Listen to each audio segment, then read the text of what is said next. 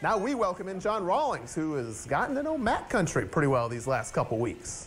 No doubt about that, Jason. This matchup follows the old saying, familiarity breeds contempt. St. Henry and Marion Local have more in common than just geography. Marion's head coach Tim Goodwin had good friend Brad Luthman on his staff in 2011 and 2012 before the top job came open at St. Henry. Of course, a strong bond developed between the two over the years, but tonight that would have to be set aside. Familiar foes fight in our Spotlight Game of the Week.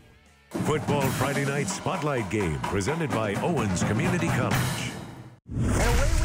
St. Henry traveling to Marion Local. The Skins trying to beat the Flyers for the first time since September 25th, 2009. In the third quarter, Flyers leading 21-7, one of the toughest seven-yard runs you'll ever see. Duane Leugers keeping it for himself. He's in the pile somewhere, and he comes out across the goal line. After the extra point, Flyers up 28-7. St. Henry trying to respond. Mitchell Stammen searching, but how about an old-fashioned tip drill? Cole Griezorn comes up with it. He's tackled out of bounds. Flyers take advantage of the turnover as Neafield hits the circle button.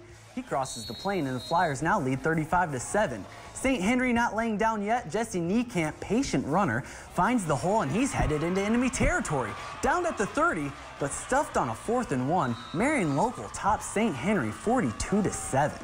Another history lesson in the MAC. In 11 tries, Anna has one victory against Coldwater. That win dating back to September 10, 2010. Scoreless in the first, Coldwater in the red zone. Bad snap off Hemmelgarn's hands. Nathan Poppleman jumps on the loose ball, and Anna forces a turnover. Rockets end up punting. Hemmelgarn has that quick quarterback memory. Forgetting the turnover, finding Kraig Shane Schoennerr for a first down. Moving the ball well. Next play, Hemmelgarn again rolling to his right, spreading the love, hooking up with Aaron Hollermert for another first down. The way this drive was going, you probably predicted seven for the Cavs. You'd be right. Hemmelgarn, quick strike to Petey Post. Coldwater goes up 7-0 to finish the game on top, 40 to 7. Now let's go back to Eddie with more from the MAC.